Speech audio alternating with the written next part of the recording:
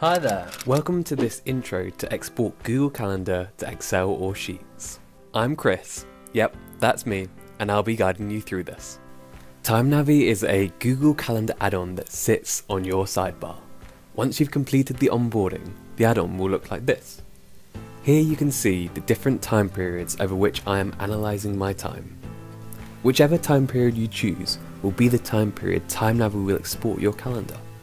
If you want a different time frame, say you want to export your calendar for 2021, you can create a time period for 2021 at the bottom, like so.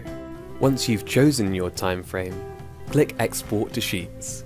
This will create a new tab in Google Sheets for your calendar. A word of warning here, sometimes you're blocked from exporting.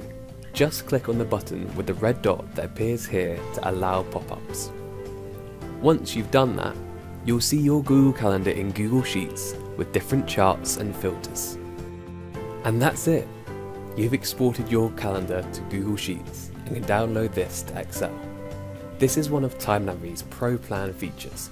The Pro Plan is $5.90 per month, but has a two week free trial. To download TimeNavi, all you have to do is click on the plus button here, type in TimeNavi, then install. Exporting is made easy.